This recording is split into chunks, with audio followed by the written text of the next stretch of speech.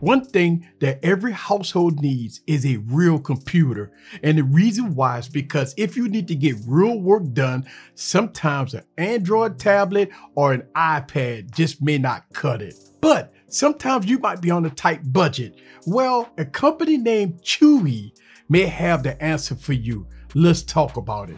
What's up, everybody? This is Eric the Tech Preacher. So I'm reviewing a mini PC by Chuwi, and let me give you my thoughts about it. Sit back and relax, and get your popcorn ready, and follow me on this journey. Let's go.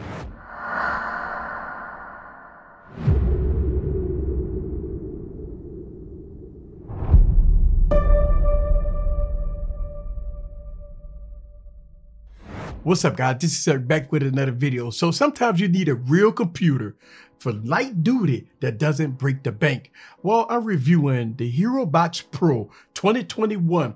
It has the new Intel Jasper Lake N4500 processor. Now this one here has 8 gigs of RAM of the LPDDR4 RAM. We have 256 gigs of internal storage. We have expansion storage slot for expandable memory. Uh, you got the 11 gen integrated graphics here and the price, the price is $199 with a special price that's going on right now for $179 as of me recording this video. I will leave all links down in the description below. So let's talk about what you get in the box. The HeroBox Pro comes in a all brown recyclable kind of box here, right? It's plain Jane, nothing spectacular.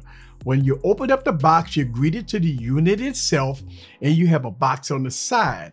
You got instruction manuals and stuff like that. When opening up the box, you're greeted to a 12 volt, 2 amp power brick and some mounting brackets.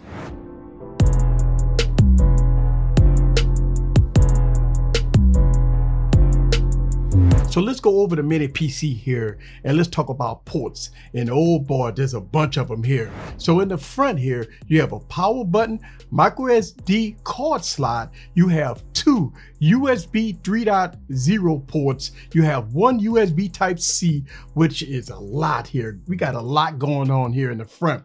But you know what? It's not over with yet. Let's talk about the rear. On the rear, you have a, a reset button. Uh, you have a DC port, a VGA port, HDMI port, and two USB ports here, but they're only 2.0 ports. You have a LAN port, and lastly, you have a headphone jack. So this mini PC costs $200 and it's stacked with ports. All right, so let's talk about this new Jasper Lake processor here that's in this mini PC. This processor is based off a 10 nanometer process that's clocked at 1.1 gigahertz with a boost up to 2.8 gigahertz, right?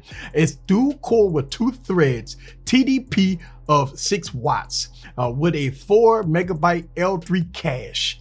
Uh, the graphics here is clocked at 350 megahertz with a boost up to 750 megahertz that support 4K up to 60 hertz.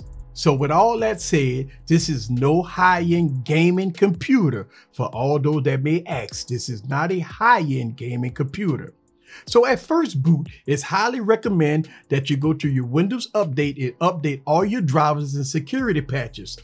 Patience is required when doing this because my first boot here, it took maybe an hour, hour and a half to get it all done. So let's talk about the performance. Look, I've ran some performance tests so I can get a general idea of the computer performance because I'm going through the menus and everything and everything is smooth as butter. So here's the results. I got a complete PassMark rating of 918, which is about what this chipset's supposed to be.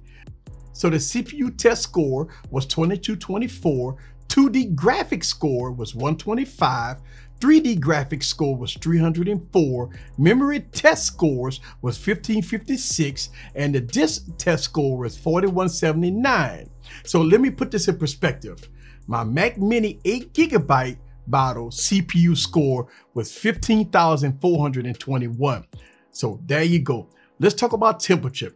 When I was using this computer running benchmark tests and stuff like that, loading web pages and doing a little work here, uh, this computer maintained a temperature with about uh, 35 to 36 Celsius.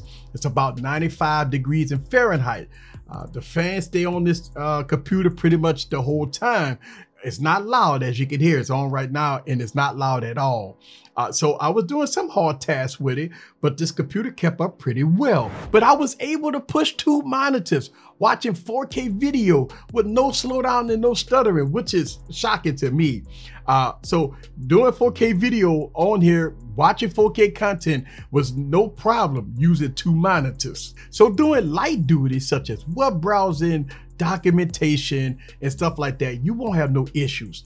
Look, going through the menu system and stuff like that, this computer was relatively fast. So that's a good thing. So here's my conclusion. For $199, this is a great mini PC. It has a bunch of ports and you could connect everything to it. Now remember, this is no i3, no i5, or no i7 processor.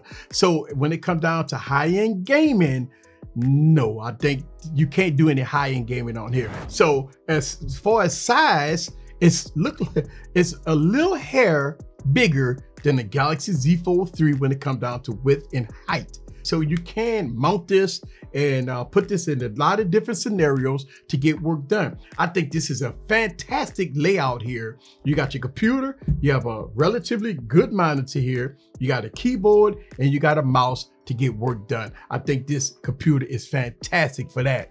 This is Eric the Tech Preacher from Eazy Computer Solutions. Leave your comments down below. Let me know what you think about the mini PC in all its glory. See you guys on the next video. Peace.